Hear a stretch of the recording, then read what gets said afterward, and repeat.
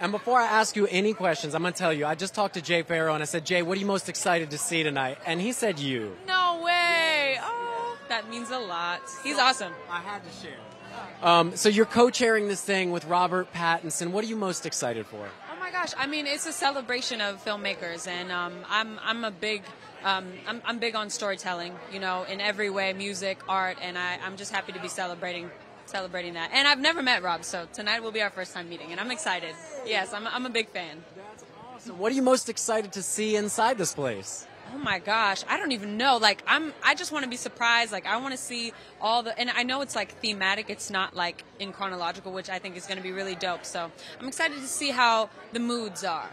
If you could put one thing from your career in that building, what is it? What do you take? Oh my gosh. Honestly, I've kind of already left my mark on here. I did my Oscar performance in this building. So, that I've already put my my little stamp. Give me a memory back from that Oscar performance. That must have been special for you. Oh man, you know, honestly, we, we shot it the day that um, the George Floyd the verdict came, and um, it was it was a very intense um, day. But um, I think it drove us in our performance, and it made it even more special. Wow, that's incredible. Um, I want to ask you about one more thing before you go. Britney seems to be getting her freedom back today. How do you feel about that? I feel great. You know, um, women are constantly oppressed. I think. Uh, we, we lose a lot of our control sometimes. So I think it's it's good to see and it's good to hear.